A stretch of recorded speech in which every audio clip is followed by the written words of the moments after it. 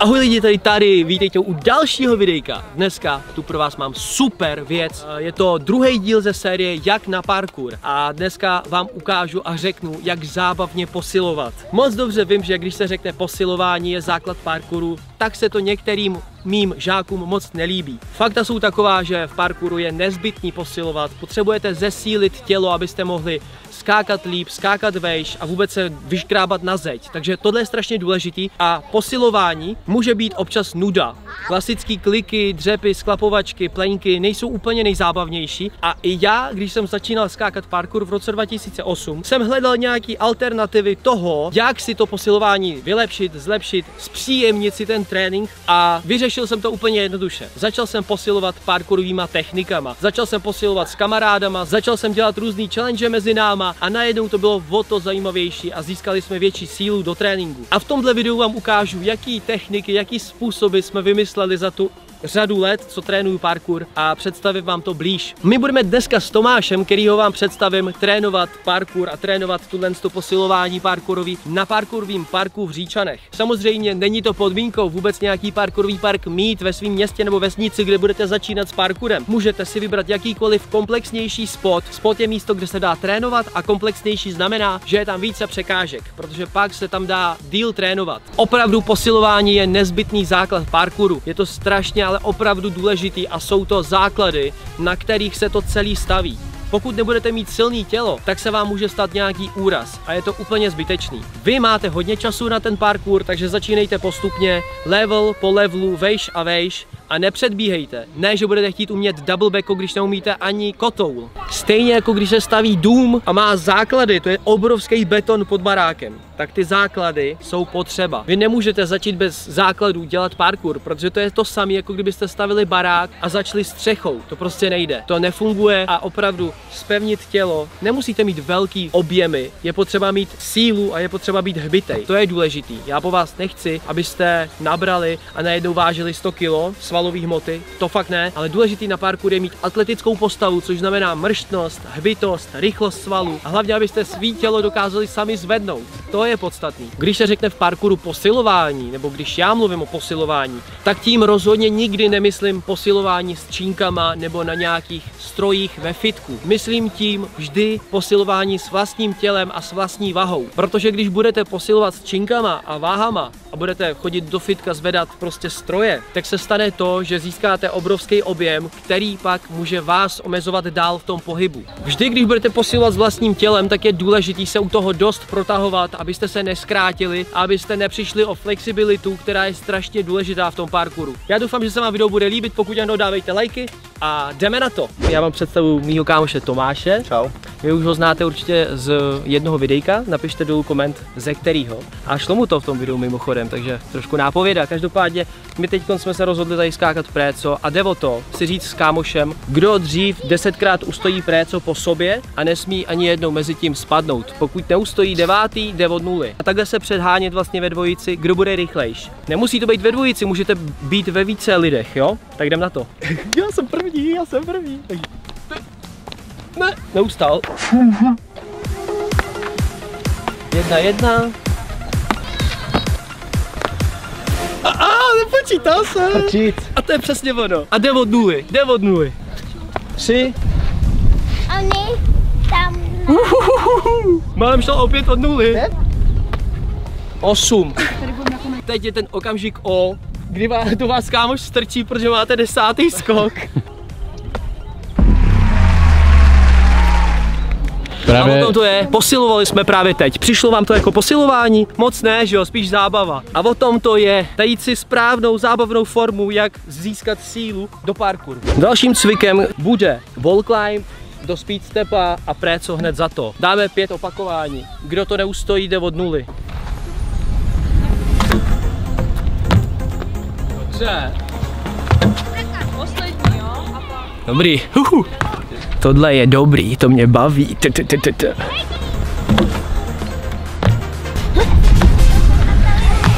Čtyři, čtyři, čtyři. Cože? Nejblíž tomu, jak spadnu teďka. Teď jsi byl nejblíž u pátýho, no tak to fakt znáte ten pocit, když u pátýho posledního se vám to nepovede? Je to fakt nepříjemný a říkáte si, proč zrovna já?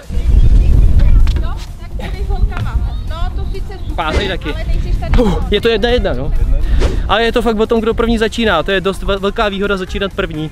Ale nesmíte to podělat. Na tréninky prosím vždycky noste obyčejnou vodu. To je nejlepší pro tělo. Žádný ochucený. Tohle je posilování na stehna a lejtka, hlavně teda na spodní část těla, na nohy. A to, co je podstatné, je skákat nahoru a dolů co nejrychleji po sobě. Je to i zároveň posilování dost dobrý na fyzičku a Tomáš s tím úplně prej zkušenosti nemá. Hlavně je to dost vysoko, co se budeme povídat. Jako začátečníkům doporučím nižší překážku. Ta vypadá třeba takhle. Budeme dělat s Tomášem toto.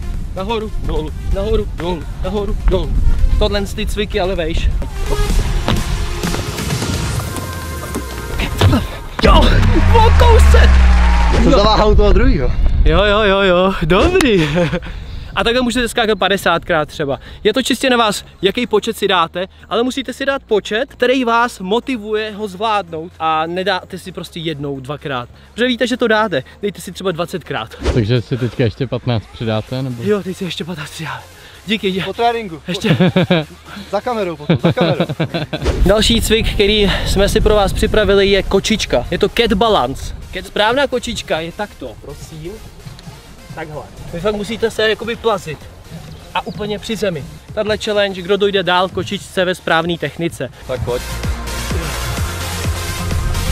Jinak lidi, tohle sto, tenhle cvik opravdu strašně moc posiluje celé tělo, dokonce i břicho a je to o tom spevňovat tělo kvůli rovnováze.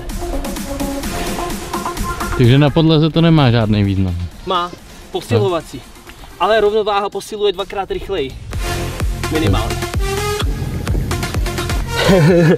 Dobrý.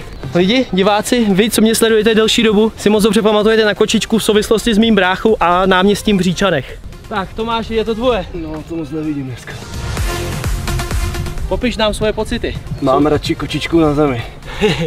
Níž zadek. Kurně. Škoda. No, Přátelská rivalita, ty jsi spadnul a já první co? 3-1? Jo, Že jo? jo. něco takovýho. Zemi láva. Máš další na to?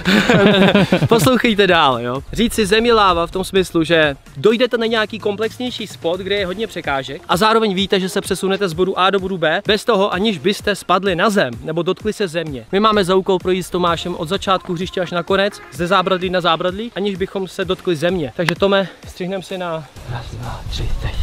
Začínáš? Začít dál. Svoboda v tý challenge je ta, že každý může použít jiné techniky, jinak a vydat se jiným směrem. A to je super. Začínáme tady na railu.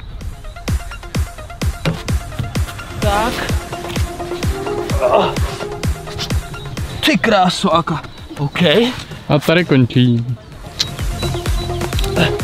No, tady už byl důkaz, že používám u toho sílu, jestli jste si všimli.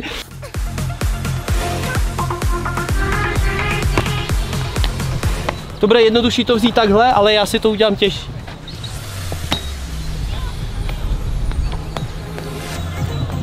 Tada! Yes, dal jsem. Teď to máš.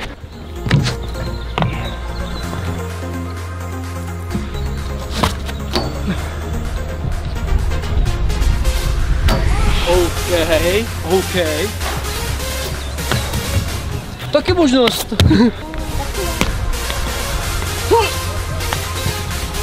Dobrý. OK, OK, OK, OK, dobrá práce. Tohle se mi líbilo víc a bylo to takový akčnější, víc, víc mávání ve vzduchu. Tohle je remíza, takže 4-2. Tak lidi, dřepy znáte, dřepy jsou super cvik na posilování a abyste dřepy trošku vyskylili, tak můžete buď skákat vejš někam jako ze dřepu, a nebo dělat dřepy na něčem úzkým, kde potřebujete používat celé tělo kvůli rovnováze a najednou zapojíte tam, kde jen posilujete nohy i zbytek těla. Protože když děláte rovnováhu, tak zatínáte všechny svaly. Du, du, du, Kdo dá 10 dřepů dřív, aniž by spadnul? To je ono. Úplně cítím, jak mi fungují svaly. Cítím, jak mi křupou kolena. Mám dřív 10, vyhrál jsem. Uhu. Pokud by vám tohle přišlo snadný a dali byste jich tam třeba 100 a říkáte, Je to lehký, o co jde? Zvedněte jednu nohu před sebe a dělejte dřepy na jedné noze. Protože v tu chvíli celou svoji váhu uh, zvedáte už jenom na jedné noze a ta noha má mnohem větší zátěž, takže víc nabere sílu. Verze pro zkrácený lidi dřepu na jedné noze. Pojď ještě. To pojdeš Jo, dobrý. a jdeš druhou. Super. To je skvělý nápad, Tomáš. Tohle, co jste právě viděli, je o něco lehčí, protože máte celý chodidlo vlastně na trubce a balancujete jenom jakoby do stran a není to tak těžký, jako když balancujete takhle.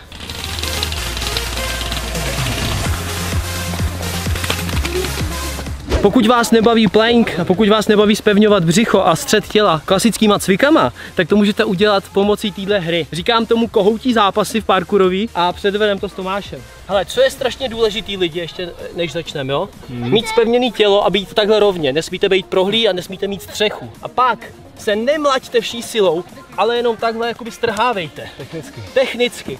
A cílem téhle hry je sundat toho druhého na kolena nebo na břicho. Musí prostě skončit takhle. 3, 2, 1, start. Oh.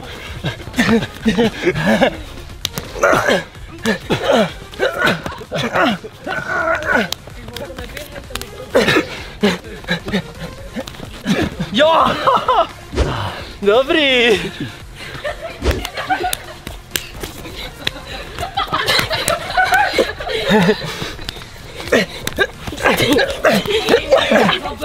Jo! Dobrá hra, dík. Lidi, na závěr videa jsme si s Tomášem pro vás řekli, že vám uděláme překvápko a ten nejlepší posilovací cvik, respektive zábavnou techniku posilování vám dáme. A hlavně je to na fyzičku, řekl bych, tahle ta věc. Určitě. Parkourová baba. To je věc hodně podobná země láva, akorát rozdíl je v tom, že chytá jeden druhýho nebo jeden větší skupinku lidí na překážkách. A kdo z těch, co jsou chytaný, spadne, tak má automaticky tu babu. My jsme dřív hráli jednu takovou věc, že když lidi, co umí salto, můžou využít toho salta a, sk- a skočit z překážky salto a mají na 5 sekund domeček takový. Jo. Ale za 5 sekund se musí zpátky dostat na překážku a hrát dál. Taky je to možnost. My to s Tomášem budeme hrát teď tak, že půjdeme bez salt, Že neumím salta. Tomáš je čistý pure parkourista, kdy se zaměřuje hlavně eh, na parkourové techniky bez akrobacie. Když začínáte tu babu, tak je dobrý, aby ten, co chytá, co má tu babu, eh, byl na, jedno, na jedné straně hřiště a ten, co bude chytaný, tak na, na jiné straně. Aby měl větší náskok, aby to bylo zajímavější. Nemůžete se postavit, Tome, stoupni si sem, 3, 2, 1, hrajem. Takhle to prostě nejde. Takže je dobrý se rozptýlit a ten, co chytá, má prostě na to čas doběhnout k němu a je to o tom, že on bude mezi tím tisíckrát padat samozřejmě. Přesně tak. Na lidi, kteří se pohybují na tom spotě taky, nebo na hřišti, buďte ohleduplný, chovejte se k ním slušně a hlavně jim neskákejte na hlavy. To je důležité říct. Tomáši, ty se teď ukliď kam chceš a já mám babu. Někam. 3, 2, 1, teď.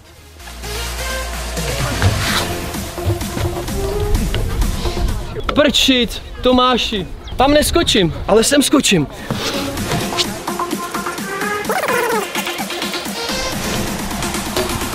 Co je v kurás? To není pravda. Kam?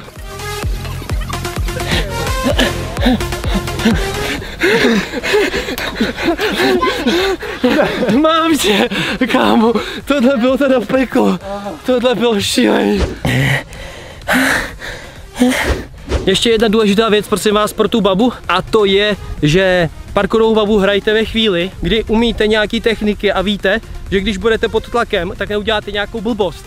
Skákejte jen věci, na co si věříte. Zas na druhou stranu, ta baba má vyvolat pocit adrenalinu v tom člověku, co je chycanej, eh, chytanej. Má se odhodlat v krátkém čase, jestli to skočí nebo ne. Přesně. Takže tohle je prostě si myslím úplně super hra, ale pro lidi, co už mají naskákáno něco málo. Nebo si můžete vybrat nějaký menší spotík víc při zemi, a který, když budete skákat, tak se vám nic nestane.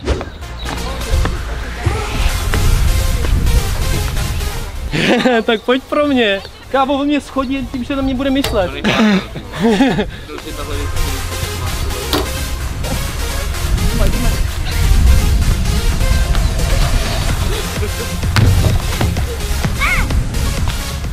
sakra, co, co, to jsem podělal, kámo. Kámo! Ne, to, to, to nemůžeš! Já jsem to ustál. Ty jsi Tak máš skočil. pět vteřin. Pět, Co, kam? čtyři. Sakra, tady jsem nechtěl skončit, kluci. Ty vole, počkej! Ale to zvučí dětem! Dobrý, dobrý. Tohle je fakt super na fyzičku. Tímhle se nejvíc trénuje fyzička a odhodlání skočit nebo ne. Doporučuji tohle zařadit do vašich tréninků. Hej Tome, díky moc za Ale trénink. díky, měj se krásně. Ty taky. Zas někdy. Jo, Čau. Čus. Ten Tomáš mi ale dal. Tak jsme na závěru videjka, Tomáš už odešel, já bych se s vámi chtěl rozloučit. Moc doufám, že se vám tato série líbí a že pro spoustu z vás bude užitečná a ty rady, které vám tady předávám, jsem získal za 11 let tréninku, takže si říkám, že už něco vím a proto vám předávám své zkušenosti. Posilování je základ parkouru, to už jsem říkal xkrát a musím to zopakovat znovu. Nepřeskakujte to, opravdu po každém tréninku posilujte, posilujte zábavnou formou. Právě proto vzniklo i tohle video, jak zábavně posilovat a já doufám, že se vám i dál bude série líbit, protože pro vás mám připravených spoustu dalších a dalších dílů, takže kdo chcete, můžete dát odběr na tomhle kanále. Já budu jedině rád. Samozřejmě můj merch najdete dole v popisku, stejně tak najdete moje akce a parkourové kempy. Já se s vámi loučím, pozdravíte mámu a uvidíme se u dalších videí. Samozřejmě Beko na závěr, jak jinak. Ahoj.